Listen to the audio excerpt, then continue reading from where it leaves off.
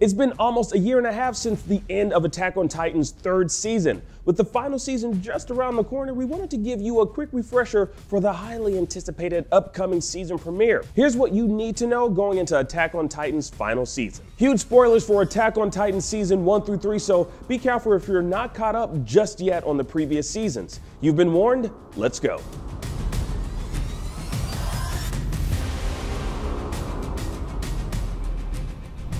For what you need to know about our main cast, we have three main protagonists in Eren Yeager, Mikasa Ackerman, and Armin Arlert.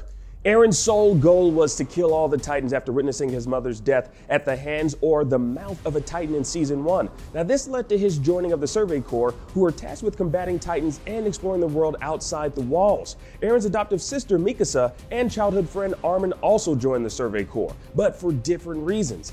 Mikasa wants to protect Eren, and Armin wants to do something meaningful in the fight against the Titans, as well as see the world beyond the walls. Even though Eren really hates the Titans, his world is totally turned upside down when he finds out that he is a Titan himself.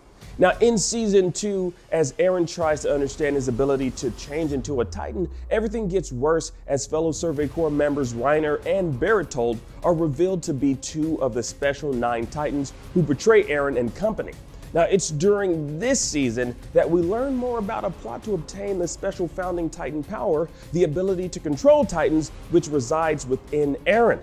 Now, in season three, both Eren and the Scout Regiment believe the truth about the Titans and the outside world lie within the locked basement of Grisha Yeager, who is Eren's father. Now, fortunately, Grisha entrusted his son, Eren, with the key after the fall of Wall Maria. Eren and company take back Wall Maria, which was lost in season one, to return to Shiganshina, where the basement is located. Now, in the battle for Wall Maria, the Beast and Armored Titans escape, but in a move to save Armin from his fatal injuries, he becomes the new Colossal Titan. Now, for those that don't know, the special power from the Nine Titans can be transferred by having another Titan eat the special Titan. It's anime, right? It's weird, but yeah, that's why we love it. Now, in Grisha's basement, they find the truth about Eren's father, the origin of the Titans, and life outside the walls, showing the enemies extend way beyond the walls. Eren learns that his father attempted a coup with a spy, the Owl, which hinged on the retrieval of the founding Titan. Ultimately, his father couldn't complete the end goal and chose Eren as his successor. With the new information and his father's memories, Eren and company know the impending attack from the mainland for the founding Titan.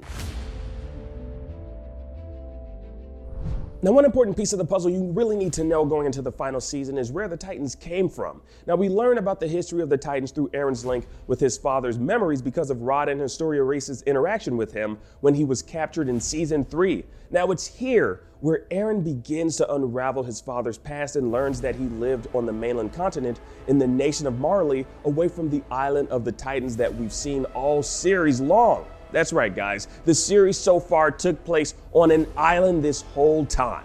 In the 57th episode of the series entitled That Day, we learned about the subjects of Ymir, who are descendants of the first person known to have the power of the Titans, Ymir Fritz. Now, when Ymir died, nine Titans inherited special powers. As her descendants, the subjects of Ymir, or the Eldian people, have the capability of becoming Titans as well as inheriting special Titan powers. Now, the subjects of Ymir were used by Eldia to conquer nations, including the powerful Marley.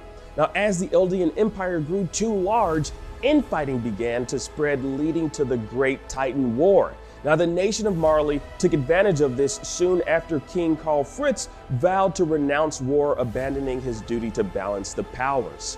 By the end of the war, the Eldian Empire fell and Marley controlled seven of the nine Titans, distributing them to those Eldians who were loyal to their movement and dubbed them warriors. Having escaped to Paradise Island to avoid the war, King Karl Fritz used the founding Titan's power to wipe the memories of the people of Eldia and build a wall with countless Colossus Titans, which leads to where this whole series started and the Eldian coup attempt on Marley by Eren's father, Grisha Yeager. Now, it's important to note that the founding Titan's power can only be used by Eldians of the Fritz and Reis royal bloodline.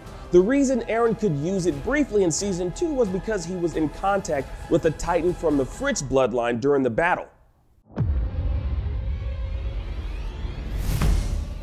As we find ourselves reflecting on season three's final episode to the other side of the wall, the Survey Corps find their way to the ocean for the very first time. Everyone seems to be in good spirits, save for Eren. Now he looks off into the distance and poses the question if we kill every last one of our enemies out there, will we finally be free then? Now, it's an insightful question that makes you realize that although they may slay each and every one of their enemies, are they ever truly free of their own internal monsters? The discovery of a world beyond the walls that harbors hatred for his mere existence is what awaits Eren. Freedom is indeed what lies beyond those walls, but at what cost? Freedom in the world of Attack on Titan so far has been a double edged sword, one scattered with mangled corpses and fallen soldiers and Titans alike. Sometimes those have been one and the same. So, what's in store for us as we've reached the anime series endgame? How does the owl know of Eren, Mikasa, and Armin? And will Eren ever share his info about using the Founding Titan's power? Now, of course, manga readers, y'all already know what to expect in the final season of Attack on Titan, but you know what? Let's hold off on spoilers and discuss in the comments below what we're looking forward to seeing in the final season. You know, which resolutions we're hoping to see and maybe get some answers to. What answers to what questions do you want? Let's talk about it down below, guys. And for more anime, check out our other anime series available this fall 2020 season and our best horror anime. And for everything else, IGN.com.